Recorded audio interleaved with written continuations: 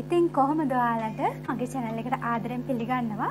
ඉතින් vitamin C serum කිව්වාම හැමෝම දන්නවනේ. ඉතින් අද මම මේ වීඩියෝ එක ඔයාලට අරගෙන ආවේ.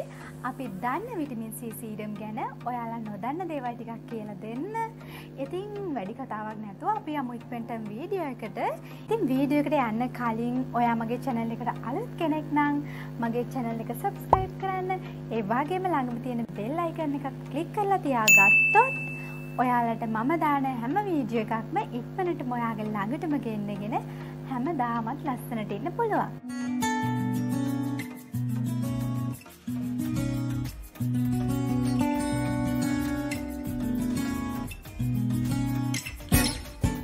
ඉතින් විටමින් C සීරම් ගැන කතා කරන්න කලින් මම ඔයාලට කියලා ඉන්නම් සීරම් එකක් කියන්නේ මොකක්ද කියලා.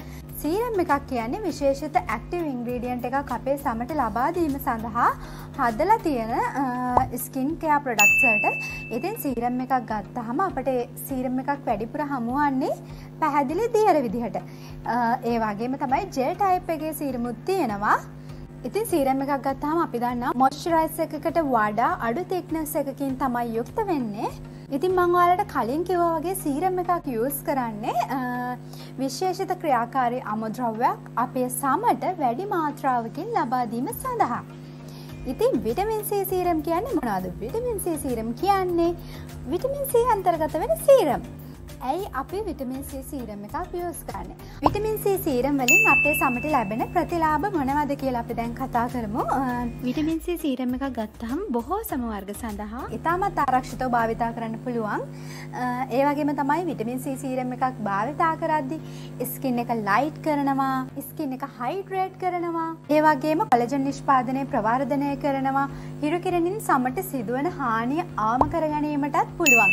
ඒ වගේම තමයි වයසින් වැඩි කෙනෙක්ට ඇතිවන මෙන මේ වගේ හයිප පික්මෙන්ටේෂන් තත්ත්වයන් මැකී යාමට උදව්වෙනවා විටමින් C සීරම් එකක් භාවිතා කරනකොට. ඉතින් දෙවනි එක තමයි විටමින් C සීරම් එකක් කාලේප කරන්න ඕනි කොයි වෙලාවටද. ඉතින් මේක ගැන ගොඩාක් දෙනාගේ විවිධ මත තියෙනවා. මම දැක්ක සමහරය කියලා තින විටමින් C සීරම් එකක් ඩේ ටයිම් එකේ යාලේප කරන්න හොඳ නැහැ රාත්‍රී කාලෙදි තමයි යාලේප කරන්න ඕනි කියලා රෝග විශේෂඥ වෛද්‍යවරුන් අනුමත කරලා තියෙන්නේ උදෑසන කාලයේදී ඒ කියන්නේ දවල් කාලයේදී හිරු කිරණයෙන් සිදුවන හානි වලින් සම ආරක්ෂා කර ගැනීම සඳහා හිරු කිරණයෙන් සිදුවන හානි අවම කර ගැනීම සඳහා උදෑසන කාලෙදි තමයි විටමින් C සීරම එකක් කාලේප කරන්න කියලා තියෙන්නේ එළියට යන්න කලින්.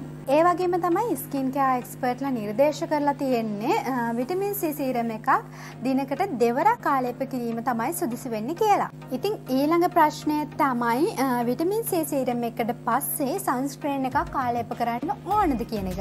මම කලින් වීඩියෝ එකක් අරන් ආවා චර්ම රෝග විශේෂඥ වෛද්‍යවරුන් අනුමත කළ ස්කින් කෑ ටිප්ස් කියලා වීඩියෝ එකක්. ඉතින් මම මේ වීඩියෝ එකේදී සංස්ක්‍රීන් ගැන චර්ම රෝග විශේෂඥ වෛද්‍යවරුන් දරන මතය ඔයාලට පැහැදිලි කළා. එයාලා වීඩියෝ එක බැලුව නැත්තං අනිවාර්යෙන් මේ වීඩියෝ එක බලන්න මම ඒක මෙතනින් දාන්නම්. ඔයාලගේ ස්කින් කෑවලදී ඔයාලට වීඩියෝ එකේ තියෙන දේවල් ගොඩාක් වැදගත් වෙයි. ඒක නිසා අමතක කරන්නේ නැතුව බලන්න. ඉතින් විටමින් C සීරම් එකට පස්සේ සන්ස්ක්‍රීන් එකක් කාලේප කරන එකෙන් ඔයාලට විටමින් C සීරම් එකෙන් සමට ලැබෙන බෙනිෆිට්ස් තවත් වැඩි කරගන්න පුළුවන්. හිරු එළියට නිරාවරණය වීම නිසාන ෆ්‍රී රැඩිකල්ස් වලින් සමට සිදුවන හානිය අඩු කර ගැනීමට පුළුවන් මේ විටමින් C සීරම් එකට පස්සේ සන්ස්ක්‍රීන් එකක් ආලේප කිරීමෙන්. ඒක නිසා ඉතින් විටමින් C සීරම් එකට පස්සේ සන්ස්ක්‍රීන් එකට යනවා නම් ගොඩක් හොඳයි. ඉතින් විටමින් C සීරම් එකට පස්සේ විතරක් නෙවෙයි අනිවාර්යයෙන්ම සන්ස්ක්‍රීන් එකක් යූස් කරන එක ඉතාමත් වැදගත්. අනිවාර්යයෙන්ම අපේ රටේ කෙනෙක්ට නම් ඉතාමත්ම වැදගත්. ඉතින් ඕනම නිෂ්පාදනයක් භාවිතා කරනකොට අපි අපේ ස්කින් ටයිප් එක ගැන අනිවාර්යයෙන්ම සැලකිලිමත් වෙන්න ඕනිනේ. ඉතින් විටමින් C සීරම් එකක් ඔයිලි ස්කින් එකකට ඒ වගේම ඇක්නි ප්‍රෝන් ස්කින් එකකට සුදුසුද. විටමින් C සීරම් කියන්නේ ඔයිලි ස්කින් එකට ඇක්නි ප්‍රෝන් ස්කින් එකට භාවිතා කරන්න පුළුවන් ඉතාමත් හොඳ ප්‍රබල ප්‍රතියොක්ෂකාරකයක්. ඒක නිසා ඔයාලට විටමින් C සීරම් එකක් ඔයිලි ස්කින් එකට වගේම ඇක්නි ප්‍රෝන් ස්කින් එකකටත් භාවිතා කරන්න පුළුවන්. ඒවගේම තමයි වාට ස්කින්න එක තියෙනවා ෆයින් ලයින්ස් ඒක ඇනි මූුණ තියෙනල සීන් රේකා ඒවගේ තත්ත්වයන්. ඒවගේම ඩක් ස්පොට් අඩු කරගන්න පුළුවන්. ඒවගේම තමයි වයසට යාම නිසා ඇතිවන වයසට යාමේ ලක්ෂණත් පාලනය කරගන්න පුළුවන්. විටමින්සේ සීරම එකක් භාවිතා කරලා. ඒවගේම තමයි ගොඩක් දෙනෙක් දන්න නැති එකක් විටමින්සේ සීරම එකක් අපි භාවිතා කරනවනම් ඒක ස්ටෝ කරන්න ඕනේ කොහොමද කියලා. ඉතින් අපි විටමින්සේ සීරම එකක් භාවිතා කරන අනිවාරෙන්ම ඒක අපි තියලා තියෙන විදිහ ගැන සැලකිලිමත් වෙන්න ඕනි. ඔයා විටමින් C සීරම් එක ගැන සැලකිලිමත් වුණොත් විටමින් C සීරම් එක ඔයා ගැන සැලකිලිමත් වෙයි. මම එනම් ඔයාලට කියන්න විටමින් C සීරම් එකක් හරියටම ගබඩා කරන්නේ කොහොමද කියලා. පළවෙනි එක තමයි ඔයාගේ විටමින් C සීරම් එක අඳුරේ තබන්න. විටමින් C සීරම් එකේ තියෙන්නේ L ඇස්කෝබික් ඇසිඩ් මේවා හිරුවලියට නිරාවරණය වීමෙන් ඔක්සිකරණයට ලක් වෙන්න පුළුවන්. ඒ නිසා තමයි අපට විටමින් C සීරම් හම්බෙන්නේ තඳුරු පාට බෝතල් වල.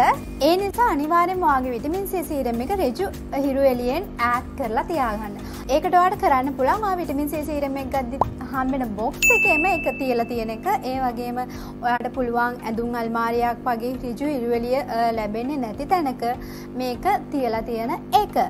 ඒ වගේම තමයි ඔයා විටමින්සේ සීරම් ගත්තට පස්සේ අනිවාරයම ඉක්මනින්ම බෝතලේ වහන්න මතක තියාගන්න ඒකට හේතුව තමයි වාතය තියෙන ඔක්සිජන් මගින් විටමින් C බිඳ හෙලන්න පුළුවන්. ඒ නිසා ඔයාගේ විටමින් C සීරම් එකේ ගුණාත්මක භාවය පවත්වාගෙන යන්න අනිවාර්යෙන්ම ඔයාගේ විටමින් C සීරම් ගත්තට පස්සේ ඉක්මනින්ම වහන්න මතක තියාගන්න. ඒ වගේම තමයි අධික උෂ්ණත්වය නිසා විටමින් C සීරම් එකක් පිරිහීමට ලක් වෙන්න පුළුවන්. ඒ නිසා ඔයාගේ විටමින් C සීරම් එක අධික තාපයට නිරාවරණය වීම වළක්වා ගැනීමත් ඉතාමත්ම වැදගත්. ඉතින් විටමින් C සීරම එකක් ගබඩා කරන්න කියලා තියෙන්නේ සෙල්සියස් සංශක 30ට අඩු උෂ්ණත්වයක. ඉතින් ඔයාට නිතරම දුරගමන් වල යන්න වෙන කෙනෙක් නම් ඔයාට පුළුවන් ඔයාගේ විටමින් C සීරම එක වැඩි උෂ්ණත්වයකට නිරාවරණය වීම වළක්වා ගන්න දේශගුණික තත්ත්වයන්ට ඔරොත්තු දෙන හොඳ ගුණාත්මක විටමින් C සීරම් එකක් භාවිතා කරන්න. ඉතින් සෙල්සියස් සංශක 30 දක්වා ඔරොත්තු දෙන්න පුළුවන් විටමින් C සීරම් තියෙනවා. ඔයාට පුළුවන් ඒ වගේ හොඳ විටමින් C සීරම් එකකට යන්න. ඊළඟ එක තමයි විටමින් C සීරම් එක මොන වගේද කියන එක.